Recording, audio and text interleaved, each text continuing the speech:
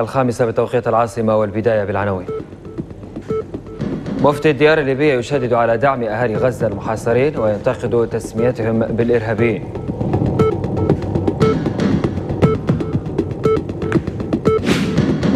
حركة حماس تندد بتصريحات وزير الخارجية السعودي عادل الجبير وتعتبرها مواقف مخالفة للقوانين الدولية والمواقف العربية. استمرار القصف الجوي على منطقة وسط البلاد ببنغازي والشبكات المسلحة بين ميليشيات حفتر وبعض أفراد العواقر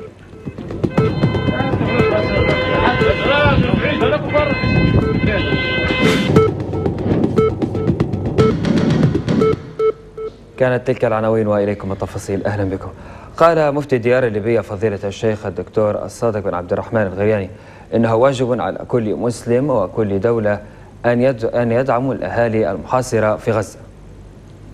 ويجب على كل إنسان وكل مسلم وكل دولة أن تقف مع المحاصرين في غزة ومع حركة حماس لأنها حركة جهادية هؤلاء ناس مظلومون أخرجوا من ديارهم بغير حق اعتدى عليهم الصهاينة وأخرجوهم فالجهاد في حقهم واجب ويجب على كل المسلمين أن يقفوا معهم وأن يدعموهم. وهذا ليس من الإرهاب وإنما هذا من تضليل الصهاينة. الحركة العالمية الصهيونية هي الآن التي تميع في هذه الأسماء وتصنف كل من يقاوم ويدافع عن حقه ويجاهد الظلم. تصفه بأنه إرهابي. وأنا أقول ربما من يعني يتولون هذا الأمر الآن ويقاطعون من أجل مساعدة ومساندة حركة حماس عليهم أن يراجعوا أنفسهم فإن هذا أمر يتعلق بعقيدة المسلم والعلماء ينظروا فيه ولا يسكت عنه فإن هؤلاء يعني أخرجوا من ديارهم أخرجهم غير المسلمين من ديارهم والعالم الغربي الآن يظاهر على إخراجهم فلا يجوز أن ينضم الناس إلى هذه الدعوة ويصنفون كل من يدعم الجهاد وإعادة طلب إعادة الناس إلى ديارهم والمسلمين إلى أوطانهم يصنف بأنه إرهابي. مفتي الديار وعبر برنامج الإسلامي والحياة على قناة التنصح أوضح أن مصطلح ما يعرف بالإرهاب يطلق على كل من يكون خارجا عن القانون وليس كما يفعل الغرب في تخصيصه للمسلمين فقط. نريد أن نضع تعريفا للإرهاب. نحن نقول الإرهاب في يعني مصطلحنا هو كل خارج على القانون. كل من يخرج على القانون يجب أن يسمى إرهابيا. لا يخص هذا الاسم بمسمى المسلمين بحيث يتتبع فيه المسلمون وينضم إليه ويعمل تحالف دولي تقوده الصينية العالمية وانضم إليه بلاد المسلمين. وأصبح للأسف هذا المسمى وهذا الاسم الإرهاب في حد ذاته هو إرهاب عالمي لأننا نرى ونشاهد الخوف والفزع من هذه الكلمة. فكل اجتماع أيا كان دول ولا أفراد ولا مجموعات لابد أن تصدر بيان في نهاية اجتماعها أنها ضد الإرهاب. خوفا من أن تصنف فيها أيضا الدول العالمية هذه التي تقول التحالف بأنها داخلة في الإرهاب. فأصبحت كلمة يعني كلمة شنيعة كلمة ليس فيها إنصاف وليس فيها حق. وإنما هي مسلطة على الناس وتستعمل الآن أصبحت تجارة عالمية تصدر يصدر باسم السلاح وتنشب وتنشب الحروب في بلاد المسلمين خاصة ويتقاتلون والمسلمون هم الضحايا هم الذين يموتون والغرب يبيع السلاح ويضرب بالطائرات ويعينهم يعين المسلمين على قتل المسلمين. ومن جانب آخر قال مفتي الديار الليبية الشيخ الصادق الغرياني إن من يسبون المشايخ والعلماء إنما يحدون حسناتهم وأجر صيامهم وبهذا يخسرون أجر أعمالهم الصالحة. دائما في حلقات التناصح والإسلام والحياة يخرج من حين لآخر يسب الشيخ والعالم أو يعني يشتمه أو يدعو عليه بكلام. أقول لهؤلاء الناس والله نصيحة لهم جميعا. إنكم والله تهدون حسناتكم. حسنات صيامكم وصلاتكم وأعمالكم الصالحة تهدونها إلى هؤلاء الناس الذين تسبونهم. لأن الله تبارك وتعالى يقول من يعمل سوءا يجزى به ويقول من يعمل مثقال ذرة خيرا يره ومن يعمل مثقال ذرة شرا يره.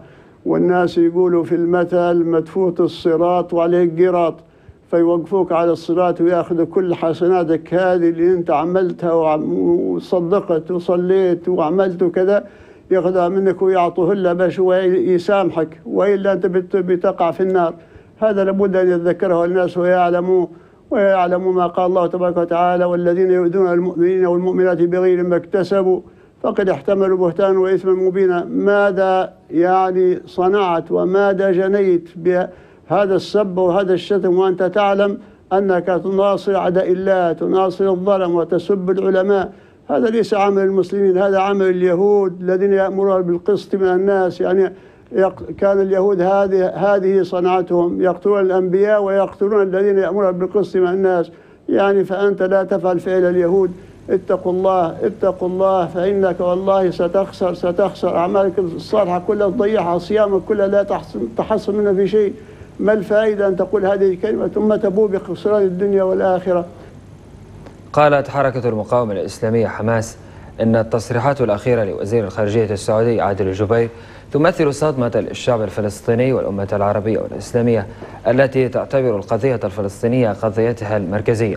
وأعربت الحركة في بيان لها الأربعاء عن استهجانها لما صدر عن وزير السعودي من تصريحات تحرض على الحركة اعتبرتها تصريحات غريبة على مواقف السعودية التي اتسمت بدعم قضية الشعب الفلسطيني وحقه في النضال حسب وصف البيان.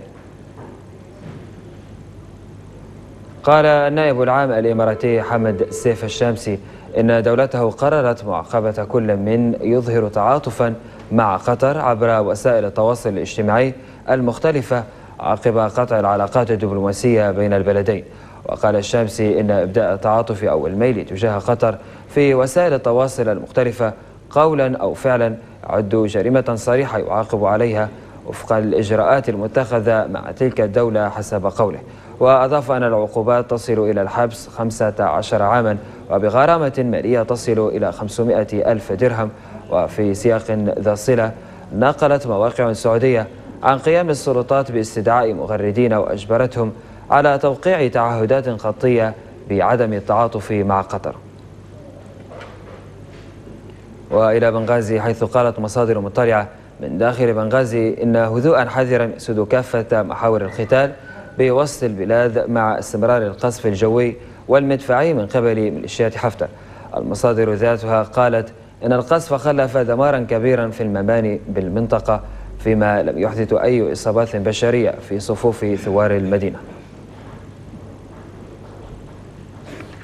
هذا وكان الطيران الأجنبي الموالي لما يعرف بعملية كرامة. قد شن ليلة الثلاثاء 16 غارة جوية استهدف فيها منطقة وسط البلاد وذلك حسب مصدر من شورى ثوار بنغازي.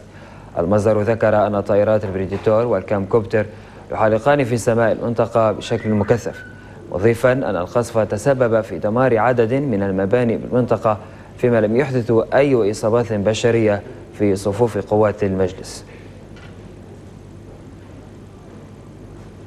قالت مصادر إعلامية إن ميليشيات مسلحة تابعة لمجرم الحرب حفتر انسحبت من الجنوب الليبي والموانئ النفطية متجهة إلى مدينة بنغازي على خلفية اشتباكات مسلحة دارت بالمدينة.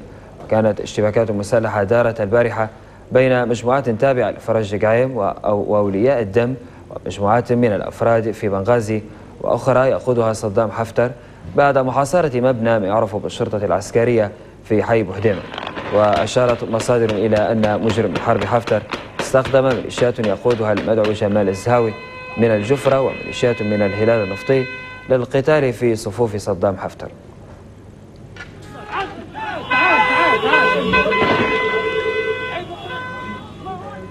وكانت قبيلة العواكير بسلوق قد أصدرت مساء الاثنين بيانا استنكرت فيه حادثة اختطاف أحد أبنائها نوري بوفنارة من قبل الكتيبة 106 التي يقودها ابن مجرم الحرب حفتر قبيلة العواقير وبحسب البيان وصفت الأعمال التي يقوم بها ميليشيات ما يعرف بالكرامة من اختطاف وتصفية بالأعمال البعيدة عن الإجراءات القضائية لمصالح وأجندات شخصية.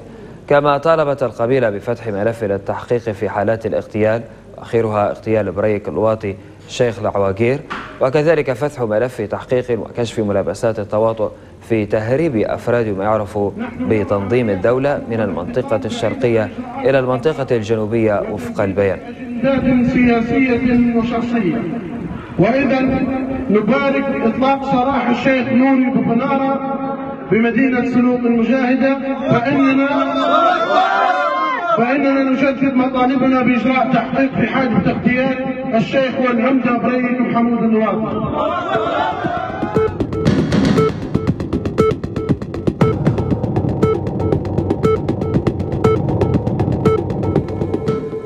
رفضت ميليشيات ما يعرف بالكرامة الإربعاء تسليم جثمان الشهيد محمد الخشغاج التابع لمجلس شورى ذرنا إلى ذويه.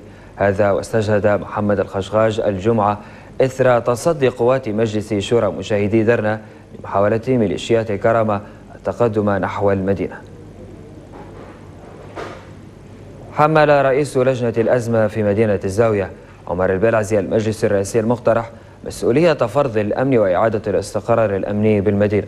البلعزي وفي تصريح خاص للتناصح أوضح أن على الرئاسي المقترح أن يقوم بدوره من أجل جبر الضرر وإعادة النازحين الذين فاق عددهم 800 عائلة نازحة إلى منازلهم لافتا إلى أن الرئاسي يغض الطرف تماما عن المدينة وما حصل بها بحسب قوله.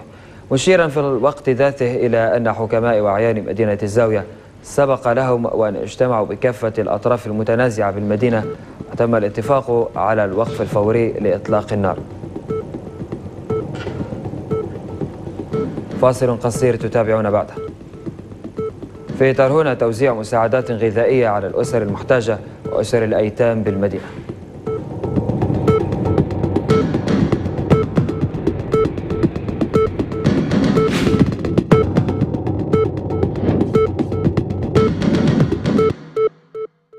بالحب تلقاك البدور ضيف الأماني والسرور فيك العطايا والأجور. يا مرحبا يا مرحبا زين الشهور.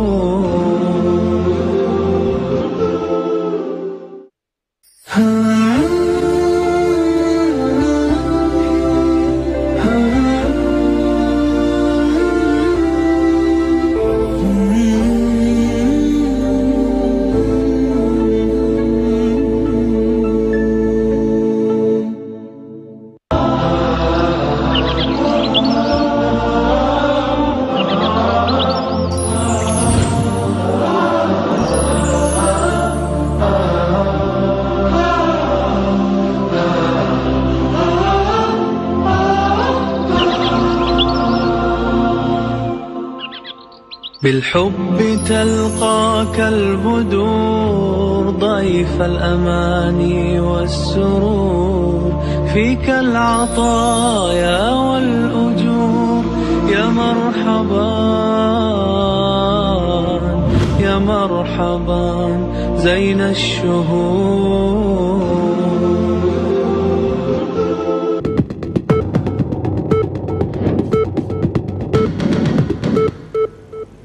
أهلا بكم من جديد.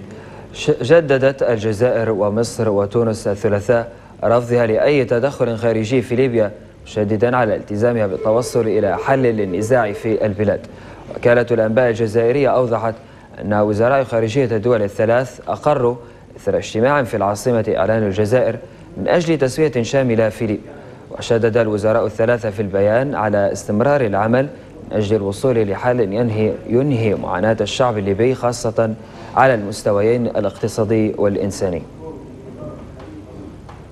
أكد وزير الشؤون المغاربية والأفريقية الجزائري عبد القادر مساهل أن دول الجوار الليبي تعمل جاهدا من أجل ما وصفه بمرافقة الليبيين في حل الأزمة الليبية دون أي تدخل أجنبي.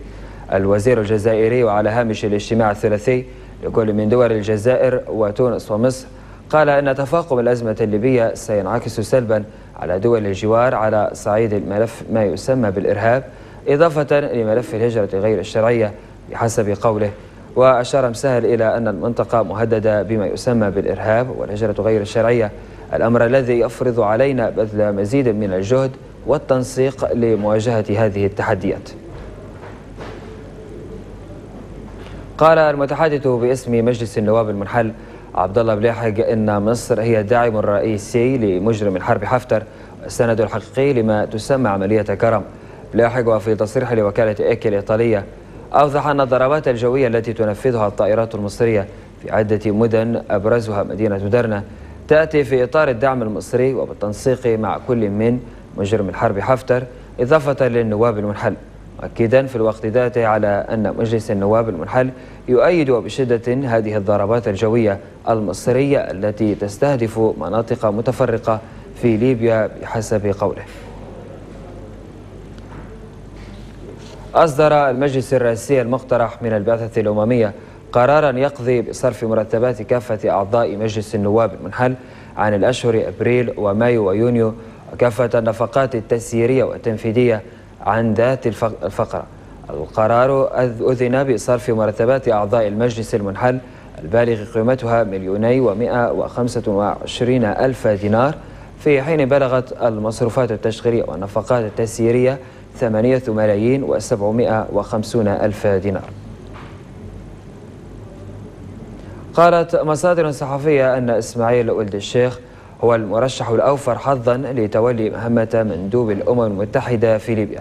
يشار إلى أن ولد الشيخ هو المندوب الحالي للأمم المتحدة في اليمن كما شغل منصب نائب المندوب السابق للأمم المتحدة في ليبيا طارق متري.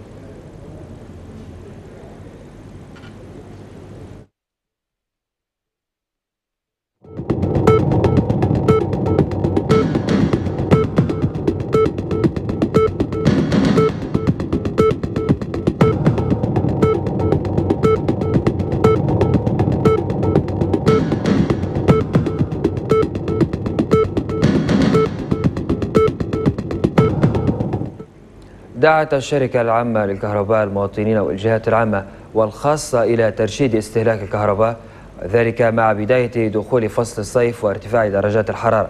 وأكدت الشركة عبر صفحتها الرئيسية على شبكة التواصل الاجتماعي الثلاثاء أن التعاون مع الشركة في ترشيد استهلاك بإعادة ضبط أجهزة التكييف والإنارة إلى القدر الضروري له أثر إيجابي على تحسين مستوى تقديم خدمات الكهرباء.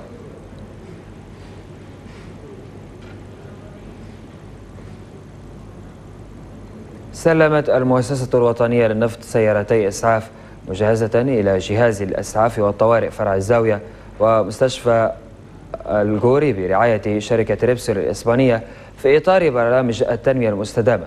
وقالت المؤسسة عبر موقعها الإلكتروني الثلاثاء أن مراسم التسليم حضرها عدد من حكماء وأعضاء المجلس البلدي الزاوية ومدير مستشفى مطرد بالإضافة إلى الممثل عن شركة ريبسول النفطية.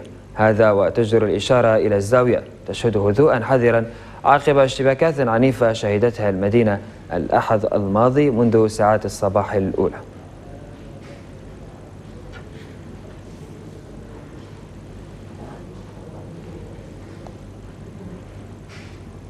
شب حريق بحجرة البطاريات بالوحدة الثانية في محطة كهرباء الخليج البخارية. إنتاج الطاقة الكهربائية غرب سرت وقال محمد لاميل المتحدث الرسمي باسم المجلس البلدي سرت أن سبب الحريق الذي طال حجرة البطاريات بالمحطة ناتج عن خلل فني وأوضح الأميل أنه تمت السيطرة على الحريق بالتعاون مع العاملين من مهندسي وفنيين وعدد من أهالي المنطقة. وأضاف أن مجلس إدارة الشركة العامة للكهرباء قد شك شكل لجنة من خبراء للتحقيق في الحريق.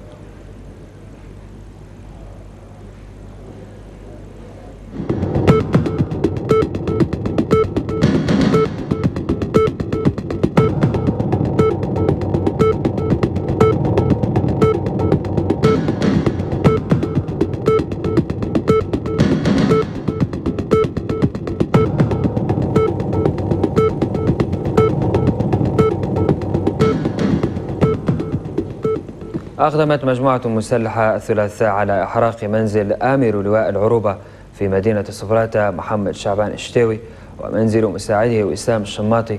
وبحسب تصريحات صحفية لمصادر محلية الأربعاء فأن منزل الشتاوي الذي يقود لواء ساندا يقع بمنطقة النهضة في صفراتة وتأتي هذه العملية على خلفية مقتل أربع مهربين للمحروقات في اشتباك مع لواء العروبة جنوب المدينة.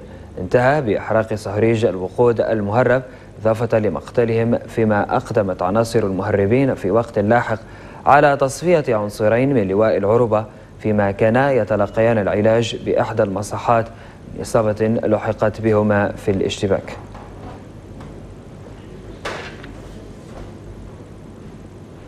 وقعت بلدية كفرة الثلاثاء عقود إنشاء طريق وترميم ثلاث طرق بالمدينة بتكلفة إجمالية بلغت 11 مليون دينار وذكر مصطفى الأوجلي المتحدث باسم بلدية الكفرة أن الشركات الثلاثة التي أوقعت عقود ترميم وإنشاء طرق البالغة 36 كيلومتر ستشرع الأسبوع القادم في عملها في ثلاث طرق تقع وسط المدينة وشرقها وغربها. وأوضح الأجري أن العقود ستمول من صندوق إعمار الكفرة الذي أنشئ مؤخرا والذي رصد قيمة مالية تجاوزت 15 مليون دينار. ضبطت إحدى الفرق التابعة للقوى الثالثة حرس حدود نالوت عدد من المواشي كانت معدة للتهريب لتونس. يقدر عدد المواشي ب 500 رأس غنم حيث قامت الفرقة الأمنية باتخاذ كافة الإجراءات اللازمة بالخصوص يشار إلى أن هذه ليست المرة الأولى الأولى التي يتم فيها إحباط محاولة تهريب المواشي والسلع من قبل حرس الحدود.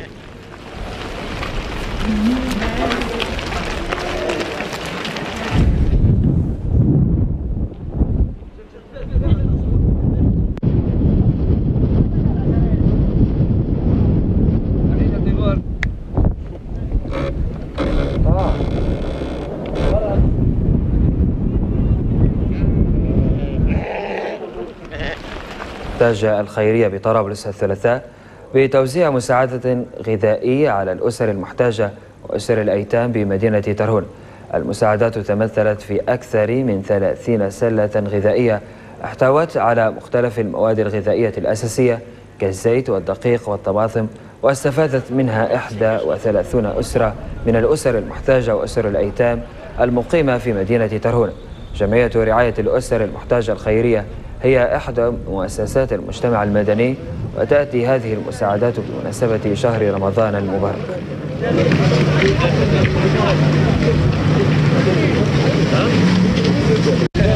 فلفل حار جنيه ونص خيار كوسه جنيه فلفل حار 3 جنيه باذنجان دينار ونص زهرة ونص ملفوف ونص بطاطا زوز ونص بسام دينار ماتم دينار ونص خوخ زوز دينار.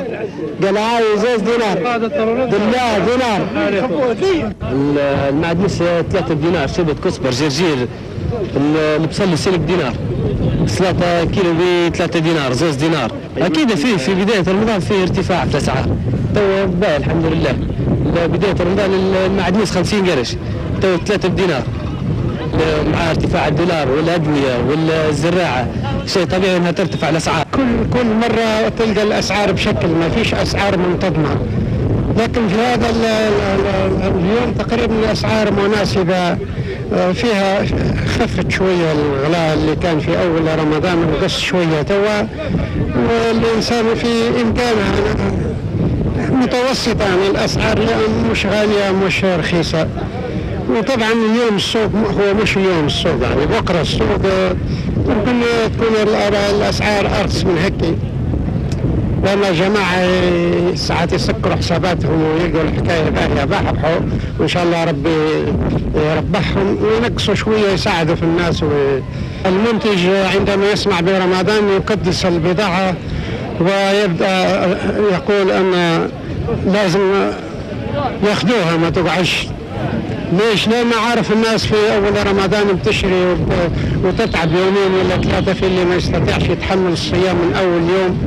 ويأخذ بضاعة يقول لك يعني الأسعار حطها زي ما تب- يبي والتاجر حتى هو بياخذ غالية وبيحطها هامش ربح متاعه. ما- والمواطن يساهم يتكالب حتى هو يجري. في ساعة تكمل في ساعة ما فيش. ففي ساعة ما فيش في ساعة كذا. فطبعا مشتركة ما بين الجميع يعني. قامت جمعية رعاية الأسر المحتاجة الخيرية بطرابلس الثلاثاء بتوزيع مساعدات غذائية على الأسر المحتاجة وأسر الأيتام بمدينة ترهون المساعدات تمثلت في أكثر من 30 سلة غذائية احتوت على مختلف المواد الغذائية الأساسية كالزيت والدقيق والطماطم. واستفادت منها 31 أسرة من الأسر المحتاجة وأسر الأيتام المقيمة في مدينة ترهون وجمعية رعاية الأسر المحتاجة الخيرية هي إحدى مؤسسات المجتمع المدني وتأتي هذه المساعدات بمناسبة شهر رمضان المبارك.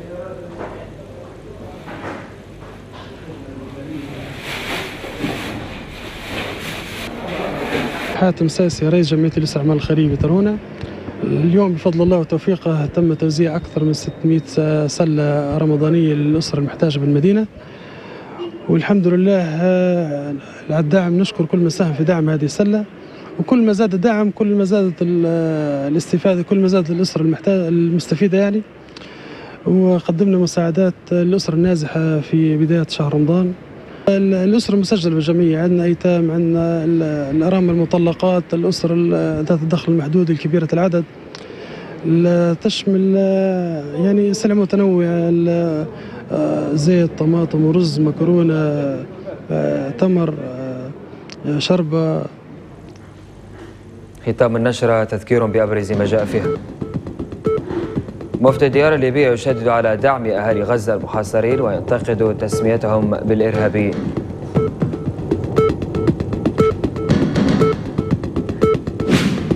حركة حماس تندد بتصريحات وزير الخارجية السعودي عادل الجبير وتعتبرها موافقة مخالفة للقانون الدولية والمواقف العربية.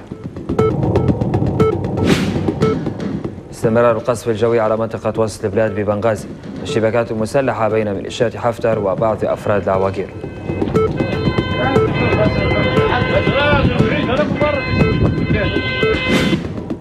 كما تبعتم أيضا في ترهونة توزيع مساعدات غذائية على الأسر المحتاجة وأسر الأيتام بالمدينة.